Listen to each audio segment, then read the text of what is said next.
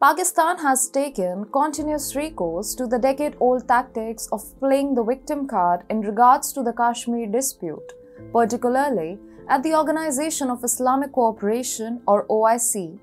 The overstated Kashmir cause exemplifies the tendency of the hunger struck nation to absolve itself of the responsibilities and manipulate the narrative against India. From a vantage point, the tactics of Pakistan not only reveals lack of accountability, but a hyperbolized, religiously fanatical desire to control perception rather than finding a peaceful resolution to the Kashmir conflict. Hello and welcome to TFI Post. I'm your host Vedika. If you're watching us on YouTube, please subscribe and press the bell icon to get all the latest updates. If you're watching us on Facebook, do like, share, and follow the page. Let's begin with the video report.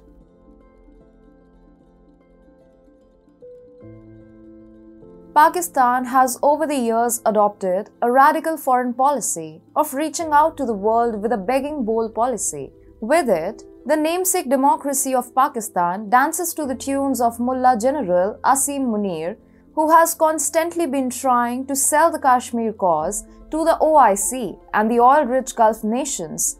But in an unfortunate turn of fate for Pakistan, Saudi Arabia, and the UAE have asked it to stop thinking about the Kashmir issue and befriend India. Pakistan is accustomed to crying like a chatbot on every platform. Consequently, even the global community is fed up with the repetitive harping of Pakistan over Kashmir, more so with the cause of unifying the Indian state of Kashmir with Pakistan.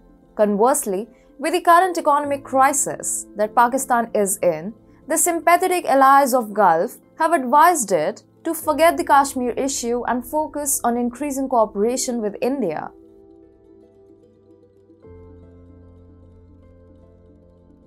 The development can be seen as a major embarrassment for Pakistan. Moreover, Pakistan has always been under the misconception that it can manipulate the global narrative against India and win support over the Kashmir issue. But the move of Saudi Arabia and the UAE of advising Pakistan to stop unnecessarily crying over India's decision to end the special status of Jammu and Kashmir is seen as a setback for the Islamic Brotherhood of OIC.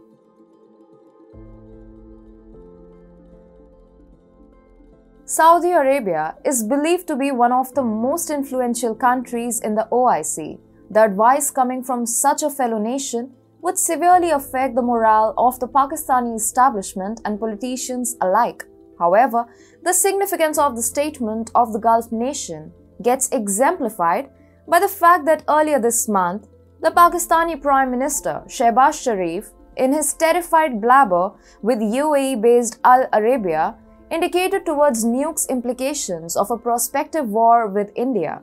Earlier, Shehbaz Sharif requested for a third party intervention to settle the ongoing Kashmir conflict with India. He appealed to the oil rich UAE to take part in resolving the dispute, citing their close ties with both India and Pakistan and their potential to play a significant role.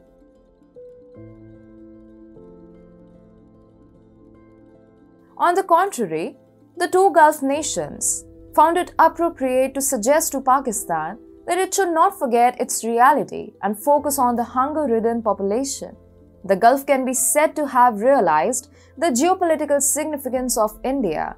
India is seeking a significant investment from these countries in the Kashmir region.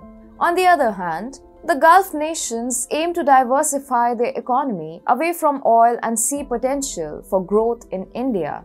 Moreover, it is also instrumental to note that India has firmly opposed the notion of third party intervention in the Kashmir issue. Furthermore, India has communicated to the international community that the revocation of Article 370 is a purely internal affair. In addition, Home Minister Amit Shah has endorsed from the floor of the parliament that Kashmir is an integral part of India and that POK will eventually return to India. Despite that, Pakistan has been claiming that the bilateral relationship between the two nations has diminished to the point where a third party must intervene.